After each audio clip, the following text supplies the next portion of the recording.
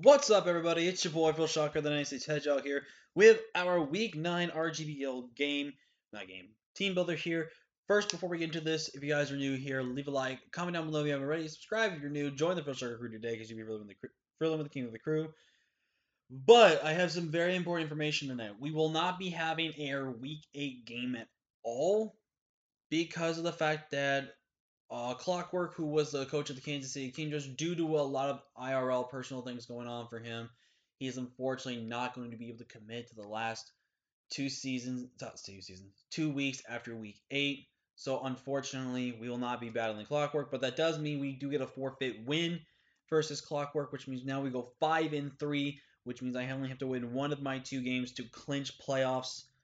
Otherwise, if I want to clinch playoffs with a five and five record, I gotta have a lot of people start losing in that type of situation. So we do need to pick up a very much needed win either this week or the final week. This week's a little bit tough though because we are going against a semi-rain team in the form of the Boston Celebies and Coach Bazan Bonsai. I'm just gonna call him Bonsai. And uh, this is a very tough matchup on paper, but I think we can do it if we play our cards correctly. But let's go ahead and break down Bonsai's team here. He's got Landorus, Therian, Lycanroc, Kingdra, Pelipper, Scizor, Tapu Miltank, Vullaby, Clefairy, and Vileplume. So very much a semi-rain team. And just, I think it just screams mostly rain to me than anything else because he has three, two mons that are here hit or miss.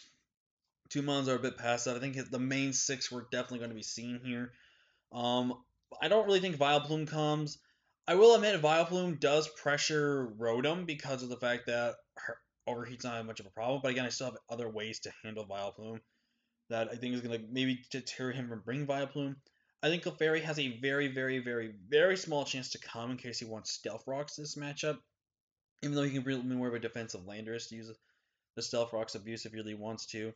Uh, I think Vullaby does have a potential chance to show up in case it needs to stop Necrozma. We already got like coverage for that, and we kind of just handle it, so I don't really know about that. But I could see it over Clefairy for the fact if you, violate purposes in hazard control with default, even though he does have three four hazard controls or hazard control users in for the top six. I do think Miltank could very well potentially show up.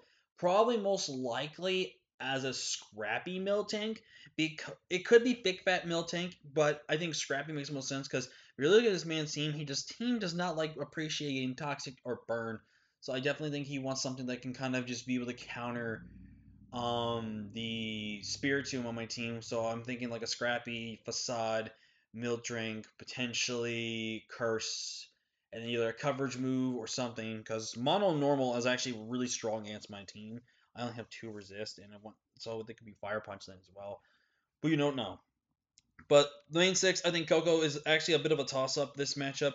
Koko is kind of forced in a lot of different situations. It's kind of forced to Scarf, it's kind of forced to Specs, it's kind of forced to be mixed, it's kind of forced to be little things. Scizor, I think, potentially could be banded or the defog user, so not what banded could also be Berry or weakness policy potentially in the rain. I do think we will see Damp Rock Pelipper. There's a decent chance he doesn't bring Damp Rock. There's actually very, and I wouldn't be surprised if he doesn't bring Damp Rock, just for the fact that you know Damp Rock can be nullified by the fact that I can bring Icy Rock and stuff like that. So that something he has to be very mindful about. I think Kingdra offensively is very hard for my team the coverage that Kingdra has is going to be really strong against me. I definitely think a water type move, dragon type move. I can see flash cannon because it'd be able to hit the um vanilla. I could see potentially a mix set.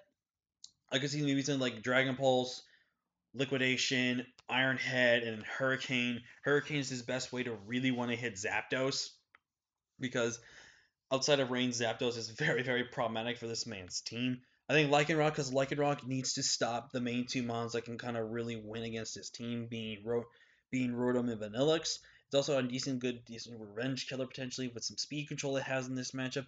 And I think Landorus, providing it's Intimidate, he does have to be careful about. Excuse me. Whew. Whew. I a sneeze right there. Landorus definitely comes. I think he could potentially bring a Rocks Landorus. I can also see potentially something like Defog Landorus with Earthquake and then maybe a Rock move or maybe U-turn, stuff like that. Does need to be careful because of the fact that it could potentially be a weakness policy a Necrozma set in front of it. I, it could also be a very well a. Uh, he has to be careful because of a Defiant Zapdos. So Lando's very much, and Lando honestly could potentially get swapped out for Miltank in that type of situation, then, and then Miltank would just be his rocker for some reason and stuff like that. So yeah. Let's break down the team we're bringing for this week. Like I said, Rotom is pretty much free this game, but we're not bringing a Rotom that you know we love. We're bringing unique Rotom this week. We're bringing Timid Rotom with max HP, 52 defense, and 116 special attack with 88 speed. This is faster than both Pelipper and Scizor, so if I Pelipper is faster than me, I'll know that with the thing showing up the choice scarf. Which, if I could see something else, I could either see heavy duty boots, choice or choice scarf Pelipper if you doesn't want to go the Del- damp rock route, which very well is a possibility. Ooh.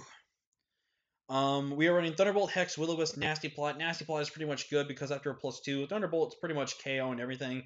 We have Will-O-Wisp there just to be able to nullify so much of his team. We are running the Magnet over the Charti Berry because I want to bluff that I'm Charti Berry. I also want to bluff that I'm potentially Choice Scarf. So he has to be very, very careful because if he lets something like his Lycanroc get burned, then Lycanroc is very weak against my team. I do have a good couple of checks to Lycanroc, but again, Lycanroc is still very, very annoying versus my team just from an offensive end because of Rock, I could easily see a potential choice band and Lycanroc set because of that. For the weariness and the concerns about that. Up next, we're in Devin the Swampert here, holding that Rindo Berry with Ice Beam, Earthquake, Rock Slide, and Liquidation.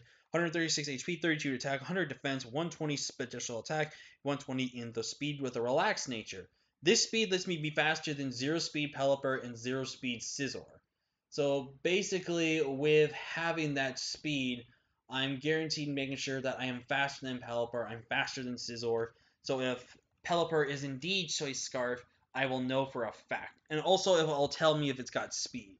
Because more times than not, Pelippers do run speed, but there are defensive variations that could run zero speed investment to be kind of like somewhat bulky Pelippers to be able to do rock moves and go for Roost in that type of situation. So be able to know if it is a speedy Pelipper would be nice because then I can know it's kind of like a standard speed spread set or something like that.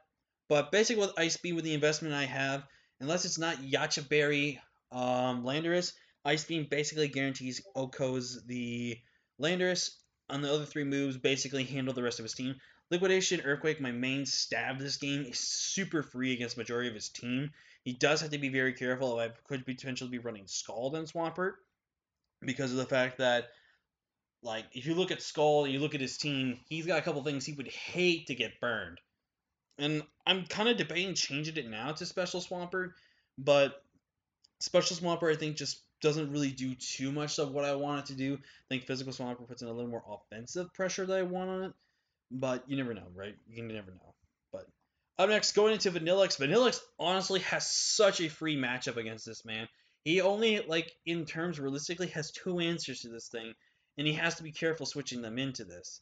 I have Vanilla here because of the fact that Vanilla can stop the stop the rain, which is really important. I do have Aurora Veil in there. For the off chance I could get that Veil up, that'd be huge. I do have Flash Cannon. Flash Cannon is pretty much important for a good majority of his team. Being the Lichen Lycanroc, it's also be really good to hit the Clefairy as well. And it's also something that can hit neutrally for a couple of things on his team. Freeze Dry is very, very important for that Kingdra and for the Pelipper. We have Blizzard because Blizzard spam can also be kind of free in this matchup with having the Snow Warning up. We are running 108 HP, 4 in defense, max special attack, and 144 speed with the Timid nature. With this nature, we are faster than Pelipper and faster than Scizor. So if Scizor is for some reason speed invested, I am faster than that thing, even though most times I'm not It's going to probably bullet punch versus me.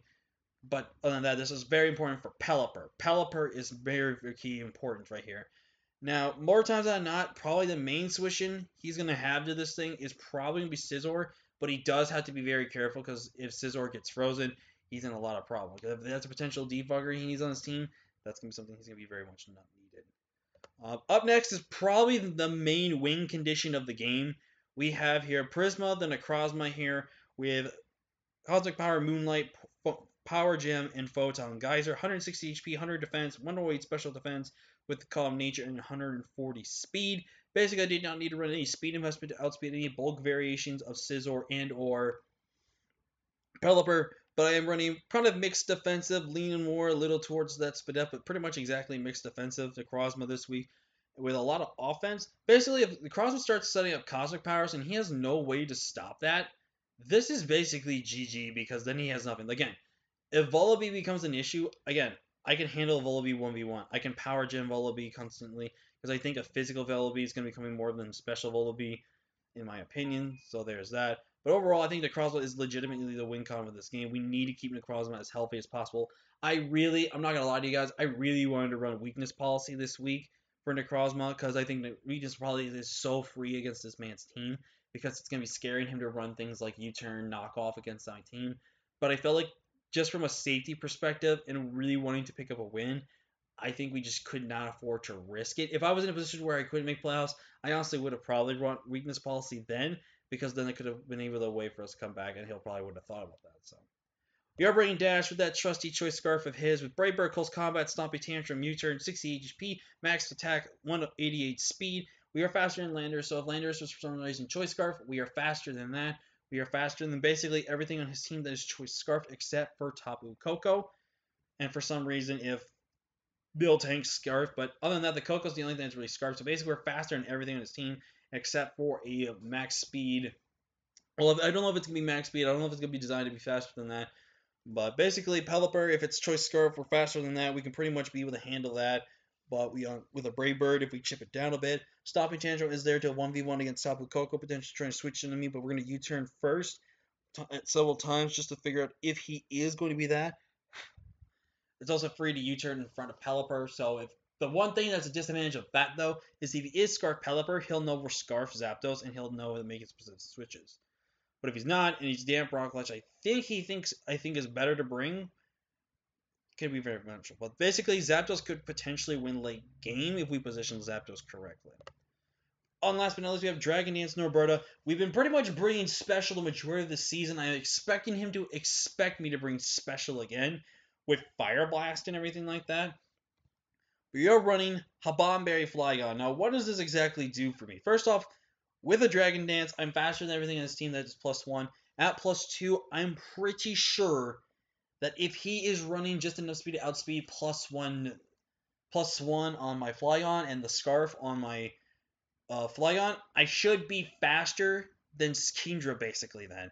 The Haban Berry is also there in case I don't want to take the risk of being faster than Kingdra and just want to knock that thing out. Basically with a Dragon Dance, I basically guarantee pretty much a KO or something like that.